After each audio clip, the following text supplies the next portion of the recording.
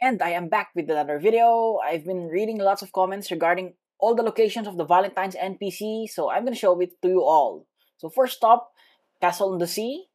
You're in the third sea, here it is. There you go. Let's check what's available in the shop. Here it is.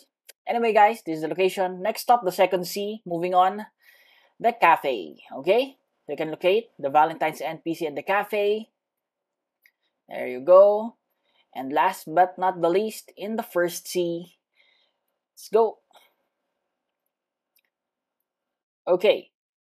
So here it is. You can locate it in the middle town. And one more thing.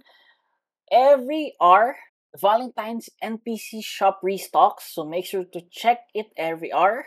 Also, grind hearts in order for you to buy all the new accessories, okay? So that's it. See you on my next video. Bye-bye.